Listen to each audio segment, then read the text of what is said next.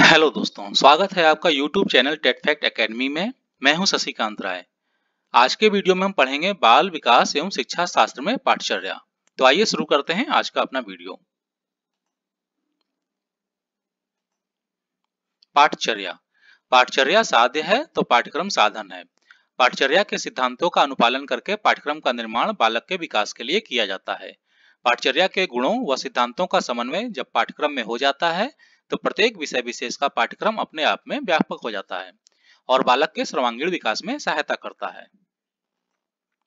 पाठचर्या का अर्थ, पाठचर्या का अंग्रेज़ी पर्यायवाची शब्द क्यूरिकुलम है। क्यूरिकुलम शब्द की उत्पत्ति जिस लैटिन शब्द से हुई है, उसका अर्थ है दौड़ का क्षेत्र। यह वह क्षेत्र है जिसका चक्कर लगाकर व्यक्ति अपने लक्ष्य को प्राप्त करता है। अभी तक हम सिलेबस और क्यूरिकुलम को एक ही समझे हुए हैं।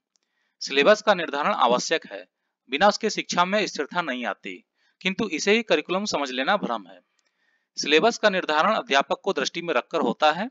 अध्यापक को किसी स्तर पर किस विषय के अंतर्गत क्या पढ़ाना है, इसका ज्ञान सिलेबस से हो जाता है।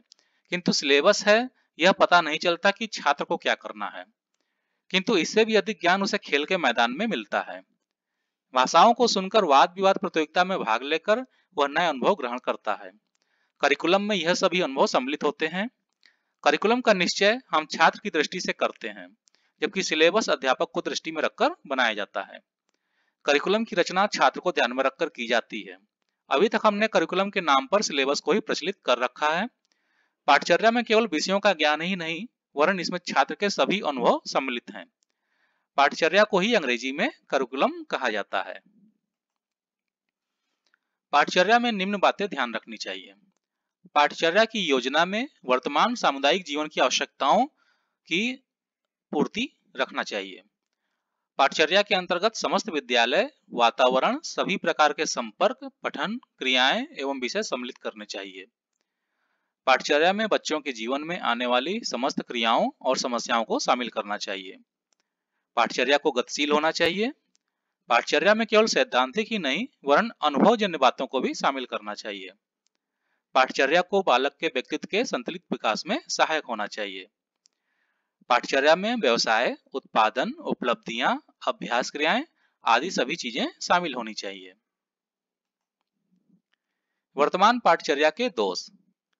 भारत में माध्यमिक विद्यालयों में आजकल जो पाठचर्या प्रचलित है, वह दोषपूर्ण है, जो कि निम्नांकित प्रकार से है। वर्तमान पाठचर्या को संकुचित दृष्टिकोण से निर्मित किया गया है। इसमें पुस्तक एवं सैद्धांतिक ज्ञान पर अधिक बल दिया गया है।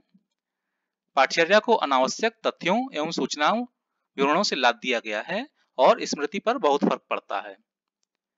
इसमें महत्वपूर्ण एवं संपन्न सामग्री का अभाव है। इसमें क्रियात्मक एवं व्यवहारिक कार्यों के लिए अपर्याप्त स्थान है। तो दोस्तों, आपको हमारा आज का वीडियो कैसा लगा?